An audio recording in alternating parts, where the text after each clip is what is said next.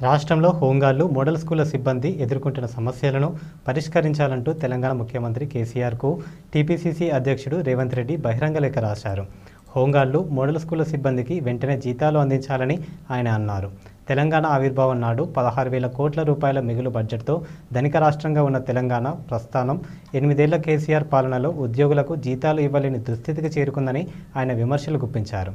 TRS పాలనలో విలువైన భూములు అమ్మేస్తున్నారని లక్షల కోట్ల రూపాయల అప్పులు చేస్తున్నారని ప్రజలపై పలు రకాల పన్నుల భారం పడుతుందని రేవంత్ రెడ్డి చెప్పారు. పెట్రోల్ డీజిల్ ధరలు కరెంటు ఛార్జీల పెంపు భూమి భూముల రిజిస్ట్రేషన్ బస్ ఛార్జీలు పెంచారని ఆయన ఎద్దేవా చేశారు.